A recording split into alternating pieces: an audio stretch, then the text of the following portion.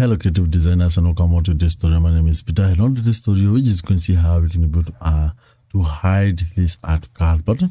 We just you're just going to use a simple PHP code. We're, just we are not going to set up plugin or what. We're just going to do it in a very simple way. This is how this is what will happen once the customer log in and they have purchased this the product before.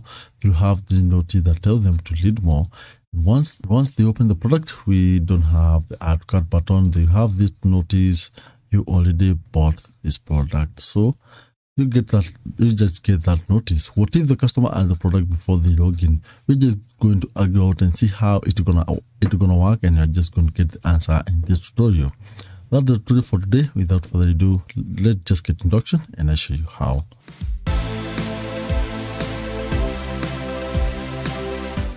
So the first thing we just need to do, we need to head over to the dashboard and on on scroll to the dashboard menu, we have this now button for plugins, Hofer, and we just need to add a plugin that will facilitate for us to be able to add the code so easily.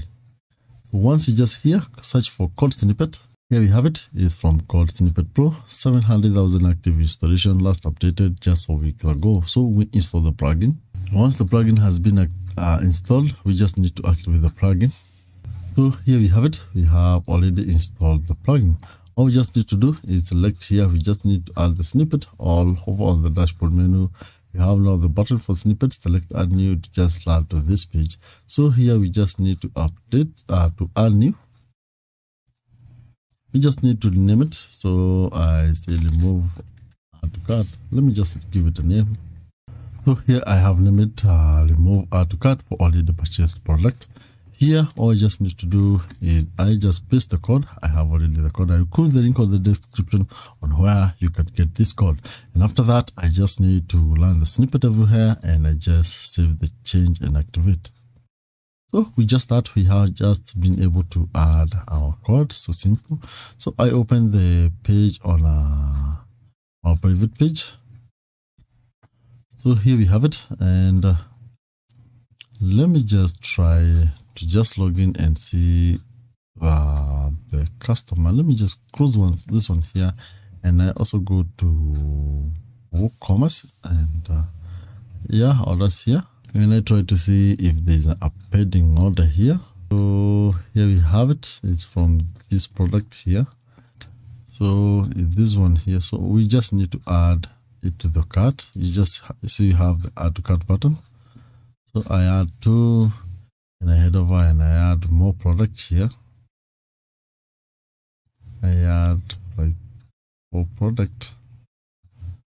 Uh, with that now we have the products are available. You can see the one we just want to remove add to cart is here. So the one we customer already uh, already purchased was this one. So once we try to log in, let's let's try to log in and see how it's gonna work.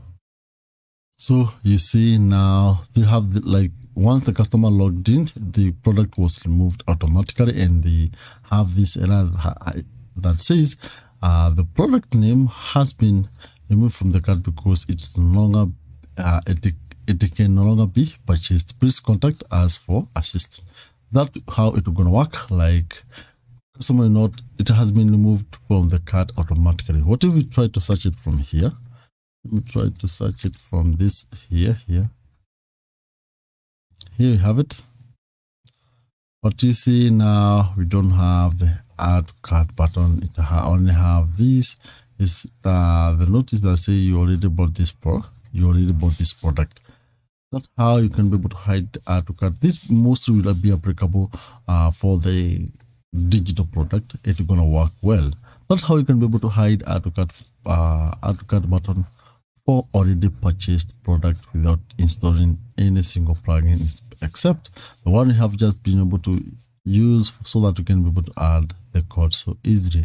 Hope you did learn something out of this story. If you did learn something out of this story, hit the thumbs up. Remember to subscribe to this YouTube channel if you're new here. Till next time, thank you.